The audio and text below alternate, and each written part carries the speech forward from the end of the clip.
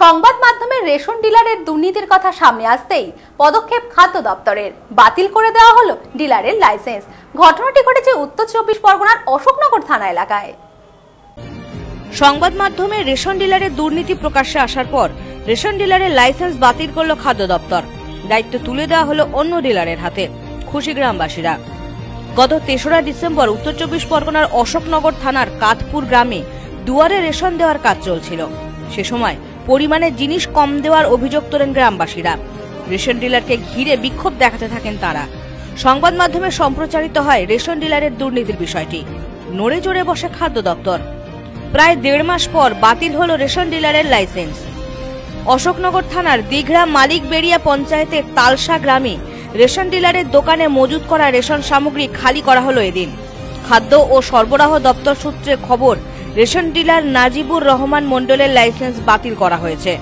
আপাতত রন্ধনগাছা গ্রামের একটি রেশন দোকান থেকে গ্রাহকদের বিলি করা হবে রেশন সামগ্রী। দুর্নীতির অভিযোগে রেশন ডিলারের লাইসেন্স বাতিল হয় খুশি গ্রামবাসীরা। তাদের দাবি, এবার থেকে ন্যায্য পাওনা থেকে বঞ্চিত হতে হবে না তাদের। এ বিষয়ে স্থানীয় গ্রামবাসী তোলামেল হক বলেন, দুমাস আগে দুয়ারে রেশন দেবার সময় জিনিস কম দেওয়ার অভিযোগ উঠেছিল ওই ডিলারের বিরুদ্ধে। গ্রামবাসীরা খাদ্য দপ্তরে ফোন করে বিষয়টি জানিয়েছিলেন। সংবাদ মাধ্যমে সম্প্রচারিত হয় খবরটি। আজ রেশন ডিলারের লাইসেন্স বাতিল হয়েছে। আমাদের এখানে দুয়ারে রেশন দেওয়া চালু হয়। একদিন দেওয়ার পরে আমাদের খবর আসছে এইটাই যে পার মাথা পিছি চারশো প্লাস তিনশো করে মাল কম দেওয়া হচ্ছে আমরা বিষয়টা যে গ্রামে যে আমরা তো শুনিনি যে দুশো করে কম দেয়। আমার বলি, না, এই জিনিস হবে না। তারপরে এখানে এসে নাজুকে ডাকা হলো যে মাল কম দেওয়া হচ্ছে কেন? বলছে মাল কমতে আছে বেশি বকিস নে ঝেড়া দিচ্ছি সেটাই লে। যে আমাদের চারশো রেশন কার্ড কাতপুরি গ্রামে চারশো রেশন কার্ডের আজ থেকে দু হাজার ষোলো সাল থেকে আমরা দেখছি ওদের আইডিটি নাম্বারে চারশো রেশন কার্ড আছে। আমরা একদিন দু- যখন যেদিন আমপান চড় আজকে কি হলো?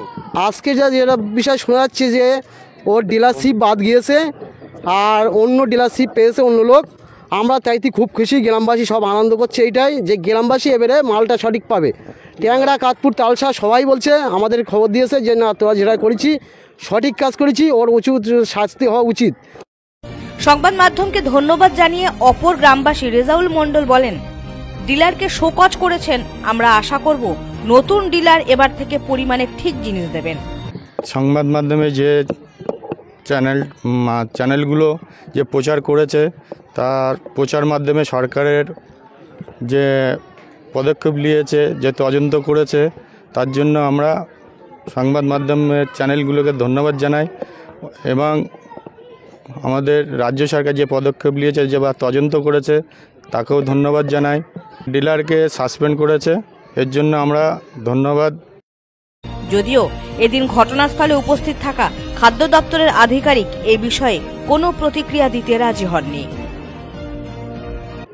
মানে উপযুক্ত পদক্ষেপ, সেই খবর শুনে উপযুক্ত পদক্ষেপ নিয়েছে, এমনকি সরকার ডিলার ডিলারের উপযুক্ত ব্যবস্থামূলক কিছুদিনের জন্য তাদের লাইসেন্স বাতিল করেছে।